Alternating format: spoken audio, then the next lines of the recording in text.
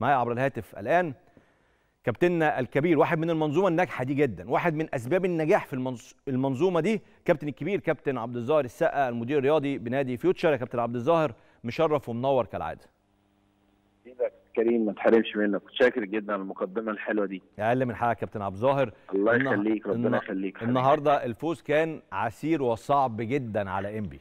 آه ماتش صعب جدا طبعا. يعني ببارك للإدارة طبعا وببارك للكابتن علي ماهر والجهاز بتاعه واللعيبة فعلا آه، تعبنا بشكل كبير الماتش النهارده. وأنت زي ما ذكرت كده آه، هي منظومة وكل واحد بيقدم دوره بشكل كبير بيشتغل على أكمل وجه يعني كله بيعمل شغله وده الشيء المهم جدا إن أنت اللاعب لعيب والإداري إداري والفني فني والكابتن علي ماهر مدير فني فيعني كل واحد شغال في شغله الحمد لله. آه، قادرين إن إحنا نلعب ماتش بماتش على طول. يعني خلاص تمام عرفنا الحمد لله نفصل فده بشكل كبير عم- عطت لنا يعني الحمد لله في الملعب بنبقى كويسين فأنا شايف إن إحنا الحمد لله ماشيين لحد الآن. طبعا الإصابات هي المشكلة الحقيقية اللي عندنا دلوقتي.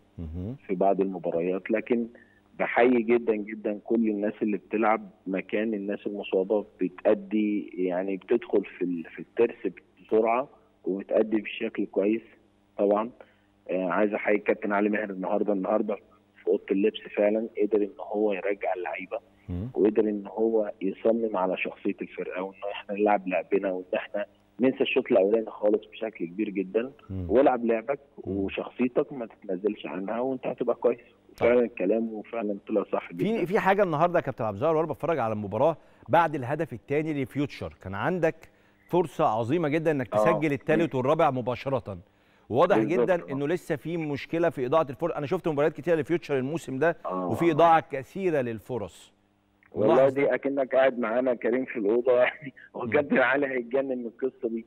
يعني فعلا بن... في كل ماتش بيتضيع فرص فرص كتيرة جدا طبعا مم.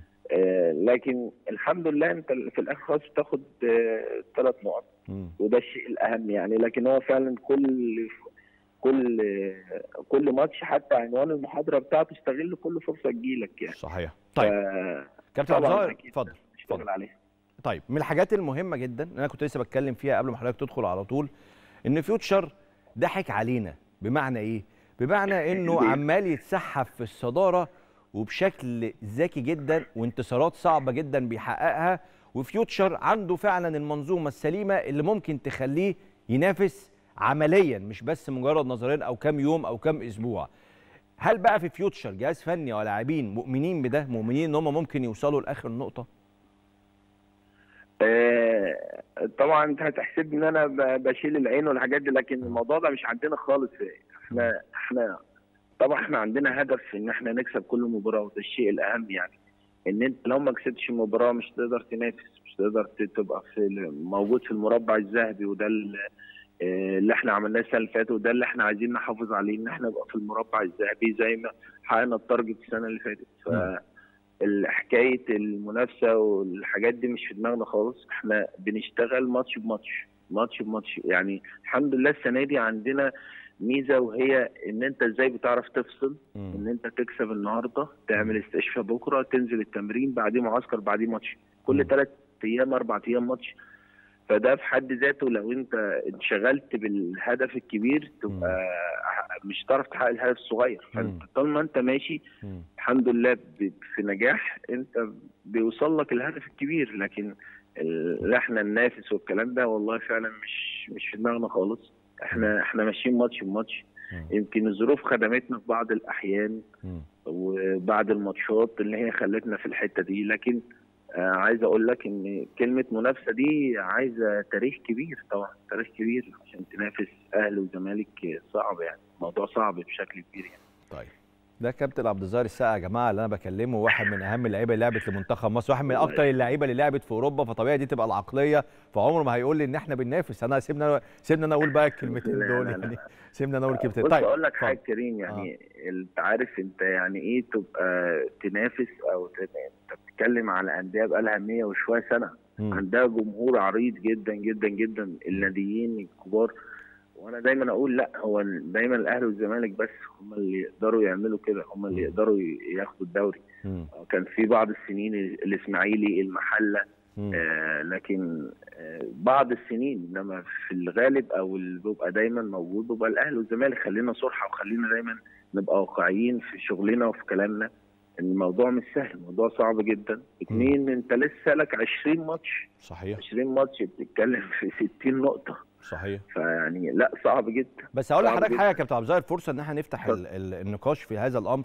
إنه زمان وحضرتك كنت بتلعب كمان مع المنصورة وفريق كبير ومحترم. انه زمان كان حجم الامكانيات كانت بتبقى دايما في الأهلي والزمالك بس. أنا بتكلم على مستوى اللاعبين ومستوى آه، آه، الصرف. آه. أنت دلوقتي كفيوتشر أو كبيراميدز أو أندية كتير قوي فاركو وفي أندية كتير في الدوري تقدر تشتري زيها زي الأهلي والزمالك. تقدر تجيب النجوم اللي هي عايزاها. بالعكس ده ممكن تنافس الأهلي والزمالك على لاعبين. أنت وأنت لعيب أنت عارف إنه ده ما كانش يحصل في باقي الأندية. لكن دلوقتي زي ما بيقولوا كده إيه الرؤوس قربت قوي اتساوت شوية. تتفق معاك؟ طبعا. حتى ما كانش بتزعلنا غير ماتش الأهلي والزمالك في التلفزيون. صحيح. دلوقتي بقى كل ماتش له استوديو كمان. بي- بيقعد أربع خمس ساعات. طبعا كله متشاف كله محطوط تحت ال spot. لكن عايز أقول لك برضو ان إن الجماهيرية بتفرق بشكل كبير. صحيح. يعني خلينا واقعيين إن الجماهيرية بتفرق. الجماهيرية بتحط ضغوط على اللعيبة. من غير ما انت تتعب لأن انت وانت ماشي في الشارع لو اتعادلت أو أو أو اتغلبت. انت كل حتة هتروحها هتلاقي حد بيضغط عليك. عندك الصحافة بتاعتك وال- وال social media بتاعتك. لا انت هتعيش مضغوط يعني أنا بقول ان دايما المديرين الفنيين في الاهلي والزمالك مش. شغلهم بيبقى سهل لأن اللعيب أصلا داخل مضغوط أصلا ان هو ينجح. مهما هيروح فين؟ هيروح يبقى مش هيخرج من البيت. صح. فالموضوع مختلف تماما. أنت النهارده عشان تخلق دوافع للعيبة وده طبعا مشكلة ومشكلة كبيرة جدا إن أنت كل شوية بتخلق دوافع للعيبة. صح. آه، بتبقى المواضيع صعب. صحيح. إنما تعالى النهارده أهلي لا دوافع إيه؟ صحيح صحيح. مش هتعرف تمشي في الشارع. الزمالك مش هتعرف تمشي في الشارع. مم. فده لوحدها الجمهور لوحده لا الجمهور لوحده أنا بقول عليه 60 70% من الموضوع. صحيح. بيبقى في لعيب جاي جايبه مثلا نادي الأهلي أو نادي الزمالك من درجة مم. أول ما بيدخل النادي بينافس على الدوري. إيه اللي حصل له؟ صحيح. ال- الجماهيرية وشخصية الناديين وان هم كبار. ويا رب كده يقدموا لنا كرة كويسة إن شاء الله في طيب. يوم السبت بإذن الله. إن شاء الله. كابتن عبد الظاهر آخر حاجة في صفقات جديدة لل Future قبل ما يناير يخلص ولا خلاص أنتم مستكفيين بال لا لا لا إحنا قرار مجلس الإدارة إن مفيش حد هيمشي في الانتقالات الشتوية وإن إحنا نجيب حد دي لا هتبقى صعبة جدا. يعني يعني ممكن واحد أو اتنين بالكتير يعني. ده ده لو ما كانش موجود خالص تماما يعني. إحنا الحمد لله عندنا squad الحمد لله في كل مكان كويسين.